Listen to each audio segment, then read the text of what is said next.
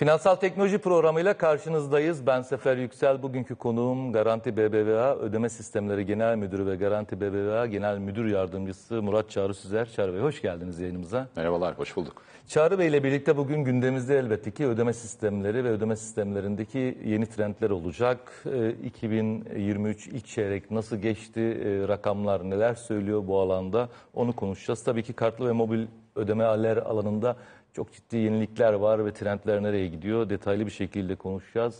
Bir diğer konumuz da e, bankacılık sektöründe ve bankalarda kripto varlıklara karşı, kripto piyasalara karşı yaklaşım nedir, hazırlıklar nedir detaylı bir şekilde konuşacağız. Çağrı Bey öncelikle tabii e, güncel rakamlardan başlamak isterim. 2023 yılı e, ilk 3 ay geride kaldı ama 3 aylık veriler var mı bilmiyorum ama en azından e, ödeme sistemleri pazarında geçtiğimiz yılın aynı dönemine göre ya da Aralık ayına göre e, değerlendirdiğimizde nasıl bir değişim var? Şöyle, önce e, hane halkının geçtiğimiz yıl yaptığı her 100 liralık alışverişin 42 lirası kredi kartlarından e, geçti. Dolayısıyla kartla ödemenin toplam içindeki payı 100'ün 42'si diye düşünelim. O 42 de eskiden 40 civarındaydı. Böyle yıllar içinde 35, 40, 42 diye arttı. Dolayısıyla kartları kullanmaya devam ediyoruz. Daha çok nakitten karta dönüyor. Ama isterseniz birebir rakamları eğer yansıtabilirseniz Evet. e, şöyle hızlıca birlikte bakalım. Şimdi kart cirosu, dolayısıyla kartla yaptığımız harcamalar yıldan yıla nasıl değişti? Sayfanın sol tarafı onu gösteriyor. Kredi kartları %138. Yani %100 büyümesi iki katına çıkması demek. İki katın bir miktar daha ötesinde büyüme var. Bu rakamlar sizin tahmini verileriniz değil mi? Bu rakamlar e, BKM'nin, e, dolayısıyla Bankalar Arası Kart Merkezi'nin e, verileri. Tahmini değil, gerçek birebir rakamlar. E, Ocak-Şubat rakamları açıklanmış durumda şu anda. Mart ayında kabaca bunun bir tık e, benzeri diye düşünebilirsiniz. E, pek değişiklik yok Mart ayı itibariyle de. Banka kartları da %137.6 yani aynı. Kredi kartı, banka kartı ikisi de benzer oranda yıldan yıla büyümüş. Sayfanın sağ tarafı işe sektörler bazında bakıyor. Hangi sektör çok büyümüş, hangi sektör az büyümüş.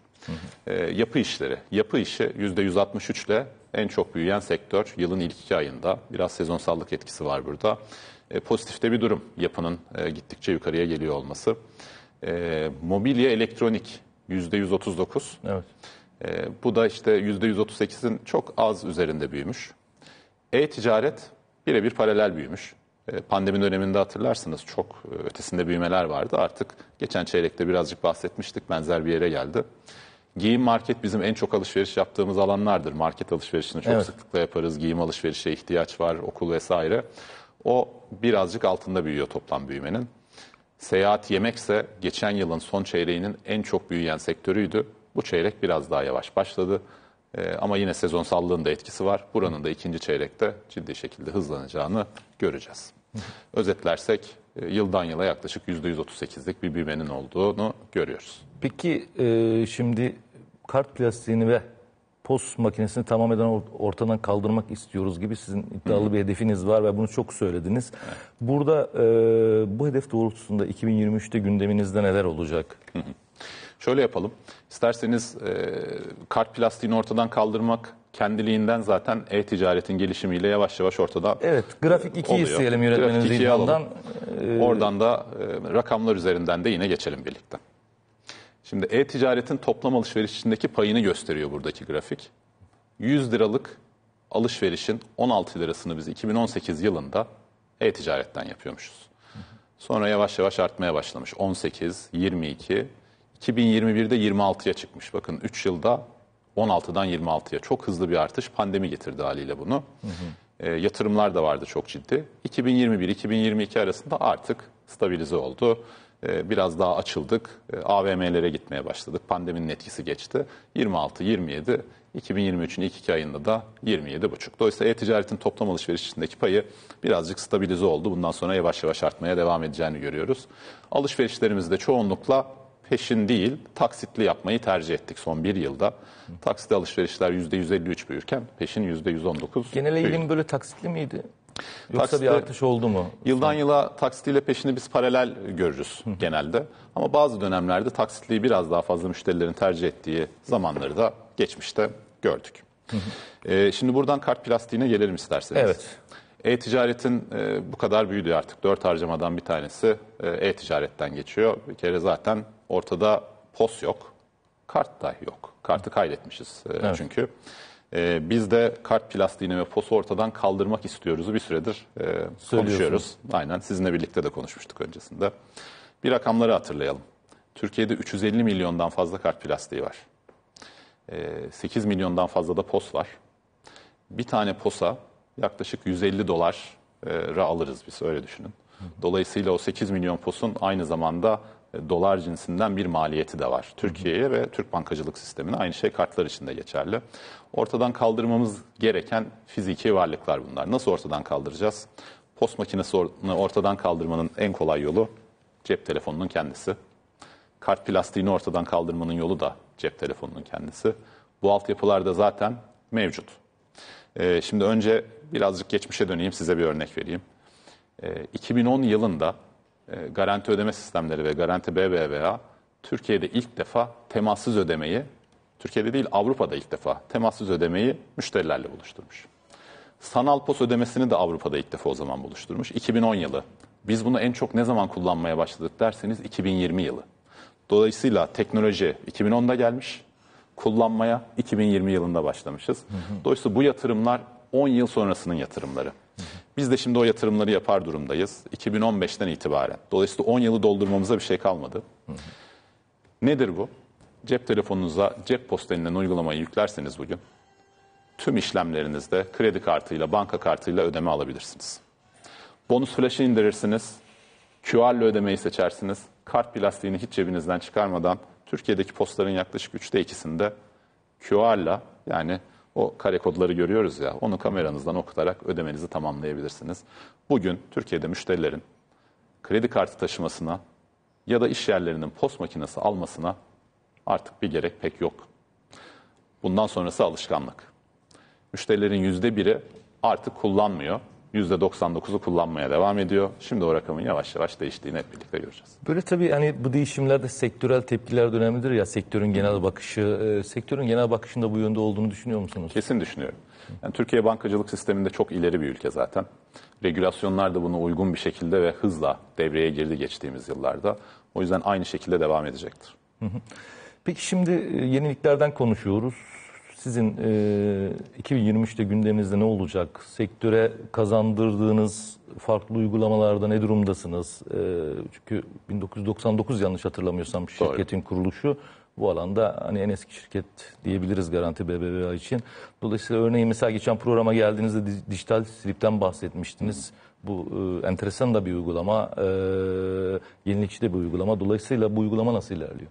Dijital silip alanında oldukça öncü bir çalışma. Bugün Türkiye bankacılık sisteminde sadece Garanti BBVA'nın müşterilerine sunduğu e, bir özellik. Ne yapıyor dijital silip? Tersten gidelim önce şu soruyu soralım. Bu post makinalarından bir kağıt çıkar. O kağıda silip diyoruz. O çıkan silibe bizim neden ihtiyacımız var? İhtiyacımızın olmasının temel sebebi o işlemi o post makinesinde yaptığına dair müşteriye bir kanıt vermek. Yarın öbür gün müşteri ne yapacak? İadesi olduğunda o kanıtı kullanabilir vesaire. Şimdi günümüzün teknolojisinde artık o kağıdın oradan çıkmasına gerek yok. Ee, o bilginin tamamı dijital ortamda zaten bizim altyapımızda kayıtlı. Bizim yaptığımız şey basitçe şu olmuş oldu. Regülasyonların da yol açmasıyla birlikte 750 liranın altındaki temassız işlemlerde artık müşterilerimiz bonus flash'in içine giriyor ve ben o silibin çıkmasını istemiyorum diyor. Yüz binlerce müşteri bu bunu seçmiş durumda hali hazırda. Dolayısıyla onu seçtiği an itibariyle artık postan o silip çıkmıyor. Bir yılda Türkiye'de 15 milyarla 20 milyar arasında postan o kağıt çıkar. Hepimizin başına gelmiştir. Posta kağıt bitti şunu bir değiştireyim Evet. vesaire. Hakikaten günümüzün teknolojisinde buna gerek kalmadı. Şimdi o bonus flash içindeki özellikle de müşterilerimiz bunu kullanmaya başladı. Yavaş yavaş hem bütün bankacılık sistemine yayıldığını göreceğiz. Hem de Garanti BBVA müşterileri de her gün daha fazlası artık ben bu kağıdı istemiyorum diyor. Ne yapıyor peki istemiyor da?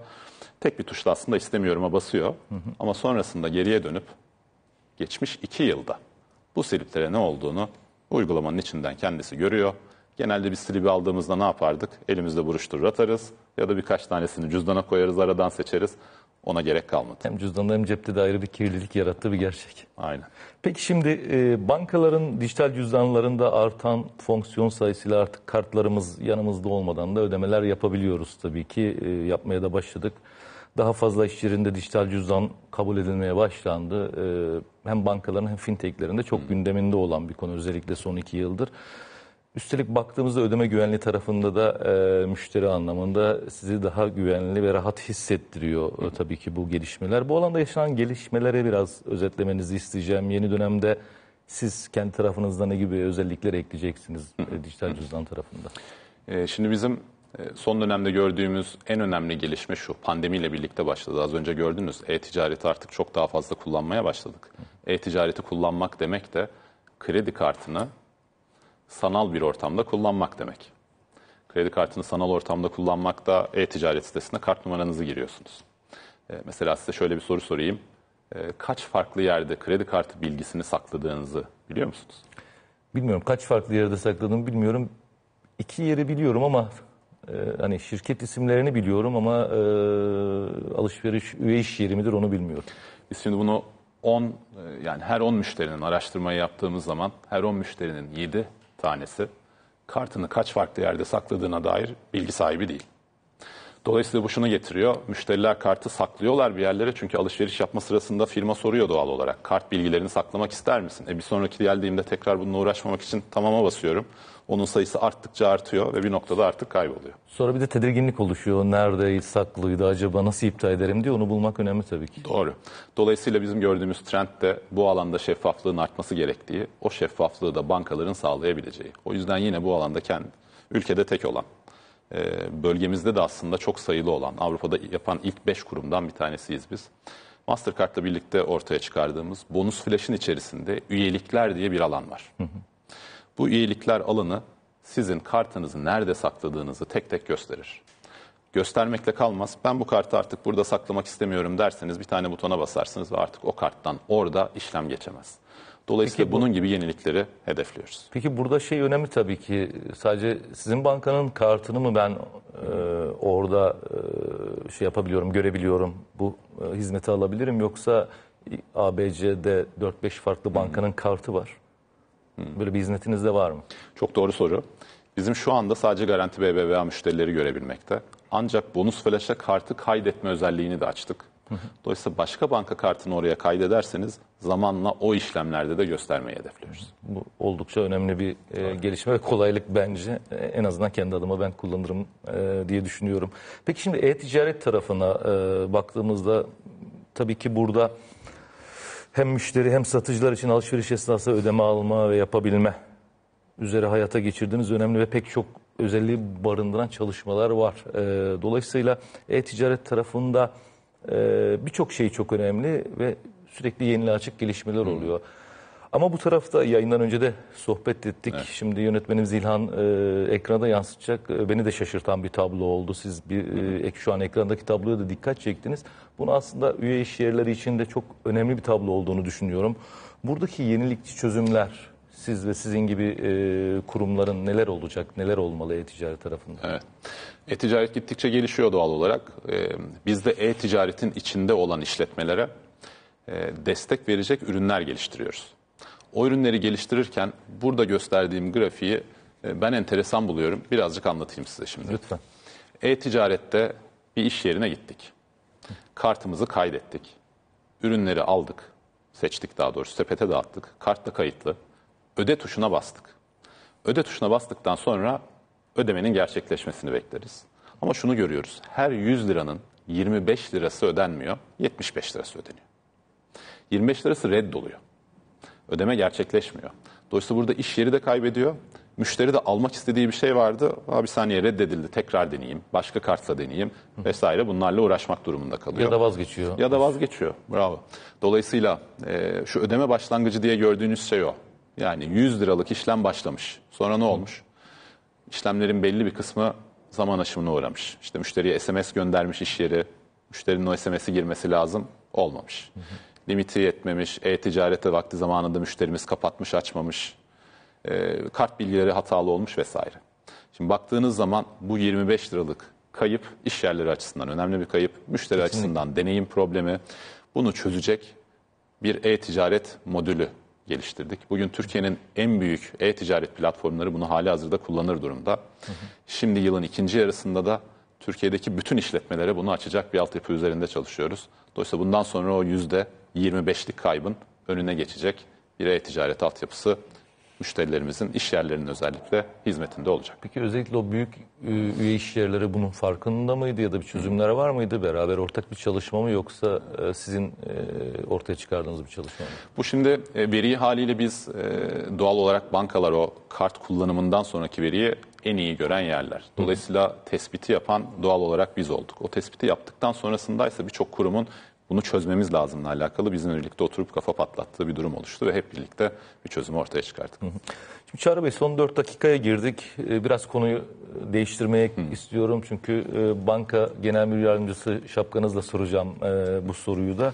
E, Siz e, Garanti Bankası, Garanti BBVA'da aslında e, ödeme sistemleri gelmeye aynı zamanda blockchain ve kripto varlık tarafı da sizin sorumluluğunuzda. Geçtiğimiz yayında da sizinle bu alanı konuşmuştum. Burası enteresan bir alan ve bankaların da çalışması var burada. E, Garanti olarak siz aktif çalıştığınızı ben biliyorum bu alanda. Dolayısıyla hem bu kripto tarafa yaklaşımınız nedir? E, piyasa nasıl gidiyor? Burada ne gibi çalışmalarınız var? İkiye ayıralım çalışmaları. Şimdi burada çok yoğun çalışmalarımız var. Tahmin ediyoruz ki e, bölgemizdeki ki bölge derken ben Türkiye değil, Türkiye'nin dışında etrafımızdaki ülkeleri de katıyorum. Ee, en büyük deneyimli organizasyonu kurduk ve uzun süredir bunun üzerinde çalışıyoruz. İki tane şeyi yapmayı hedefliyoruz. Birincisi bu blockchain denilen teknolojiyi kullanarak geleceğin bankacılığını nasıl yaparız?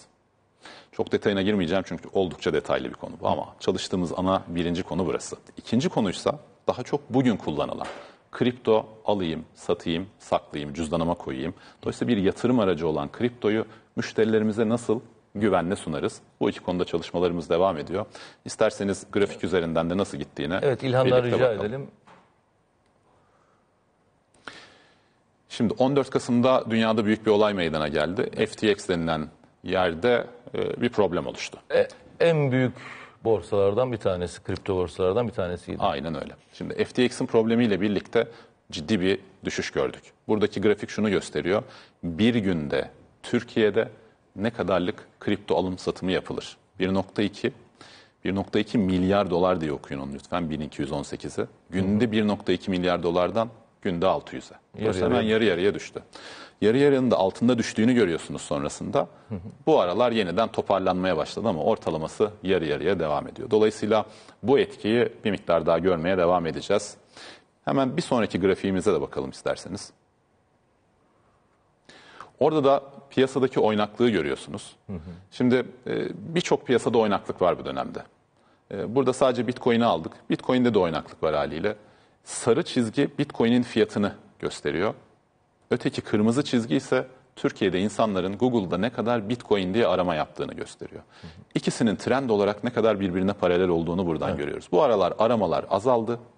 Dolayısıyla ilgi biraz daha az. Başka şeylere ilgi gösteriyor yatırımcı. Bu her an her şekilde değişiyor olabilir.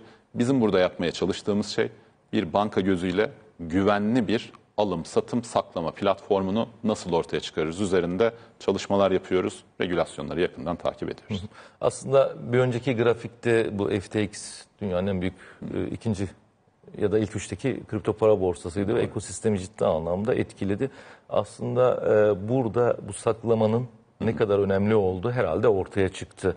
Hani merkeziyetsiz yapıların, e, merkeziyetsiz bir yapının merkezi yapıya ihtiyacı ya da o iki e, yapının birbiriyle daha bağlantılı olması gerektiği. Çünkü izleyicilerimiz hatırlar FTX'te müşteri varlıklarının aslında yerinde durmadığı ve nasıl farklı kullanıldığı ve bundan dolayı e, bu piyasanın e, çöktüğünü gördük ve insanların para kaybettiğini gördük. Burada saklama herhalde çok önemli bir yere sahip olacak. E doğru biz şimdi hepimiz bireyler olarak e, varlığımızı bankalarda saklıyoruz. Bankalar çok ciddi şekilde regüle olmuş durumda. E, çok şeffaf bir şekilde o varlıkları nasıl sakladığını gösteriyor. Bu altyapılara hali hazırda sahip. Dolayısıyla benzer şekilde kripto varlıkları da saklayarak, güvenle saklayarak aslında müşterilere ciddi bir fayda sunacağını ben düşünüyorum. Çağrı Bey çok teşekkür ederim değerli katılımlarınız için. Bu kripto alanında e, daha da ilerlediği zaman çalışmaları ve regülasyona gel zaman detaylı ayrıca konuşmak isterim. Şimdiden sizden sözünü alayım bunun. Çok teşekkürler katılımınız için. Ben çok teşekkür ederim. Finansal Teknoloji programının sonuna geldik. Konuğumuz Garanti BBVA Ödeme Sistemleri Genel Müdürü ve Garanti BBVA e, Genel Müdür Yardımcısı e, Murat Çağrı Süzer'di. Çağrı Bey ile birlikte hem ödeme sistemlerindeki son trendleri ve önümüzdeki dönem gelişmeleri konuştuk. Ayrıca bankaların kripto varlık piyasasına ve kripto varlıklara yaklaşımı üzerine konuştuk. Kısa bir aranın ardından piyasa hattı sizlerle olacak. Hoşçakalın.